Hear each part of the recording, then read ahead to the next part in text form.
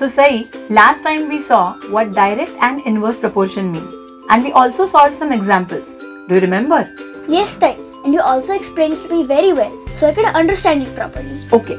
So today we'll see the practical uses of direct proportion. Okay. You know my elder brother has two friends, Samir and Salil. Both were in the same school. Later on they studied a computer hardware and networking course. Both were working in a shop for a few days, but then they thought that they would start their own business. So both of them contributed some money and started their business in partnership last year. Tai, you had actually started telling me a story while speaking about the use of direct proportion. Yes, yes, please be a little patient. We are going to find the use of direct proportion in the story of Salil and Samir. Now tell me, Sai, if they earn a profit of rupees 60,000 from their business, how will they share it? So if both of them earn a profit of 60,000, then they should divide it into half. That is, both of them will get rupees 30,000 each. But say, see, if both of them contribute different amount of capital, even then will they share an equal amount of profit? Mm. Oh, I didn't understand. How is that related here? Well, if Samir had invested 50,000 and Salil 1 lakh rupees as capital, then Salil should get more profit because he has invested more amount as capital, isn't it? What you say is correct. But then how to decide how much portion of the profit Samir will get and how much Salil? Good. At least now you agree that one who puts in more capital should get more profit. Even though we assume that they have put in an equal amount of hard work.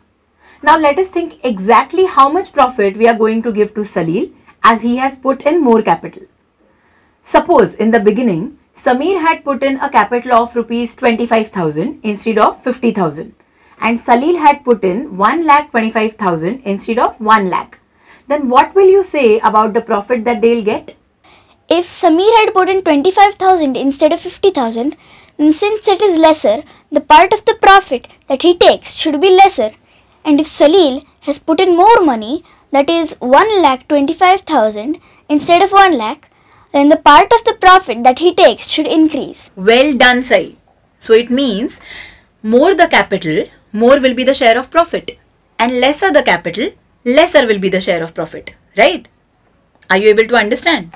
Oh, then it means that the invested capital and the received portion of the profit are in direct proportion. Correct. Now tell me, if Samir has invested rupees 50,000 capital and Salil has invested 1 lakh capital, then how much proportion of profit of rupees 60,000 will each of them take?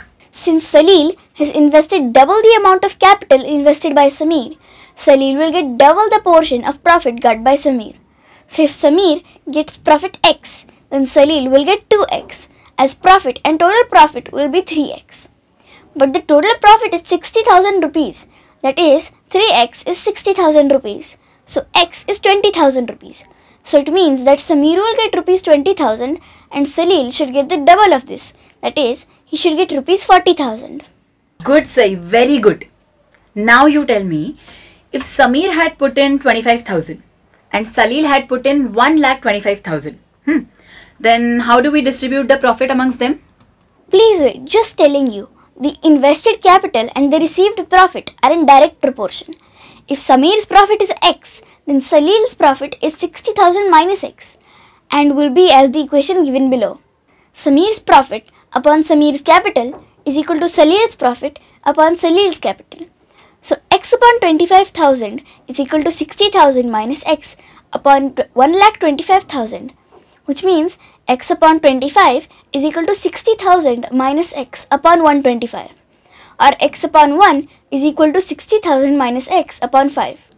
So 5x is equal to 60,000 minus x. We can also write it as 6x is equal to 60,000. From this we will get x is equal to 10,000. So Samir will get rupees 10,000 and Salil will get rupees 50,000. Very good, Sai. I think now you have understood the examples of partnership and profit really well and have also understood the use of even proportion in them, right? Yes, Tai, I've understood it very nicely now. Okay, now I'm giving you and our other friends a difficult example, okay? Okay. If Vikas also joins in partnership with Samir and Salil, and Samir puts in rupees 25,000, Salil puts in rupees 50,000, and Vikas puts in 75,000 rupees as capital, and if the total profit is rupees 60,000, then how much profit will each of them get? Find out.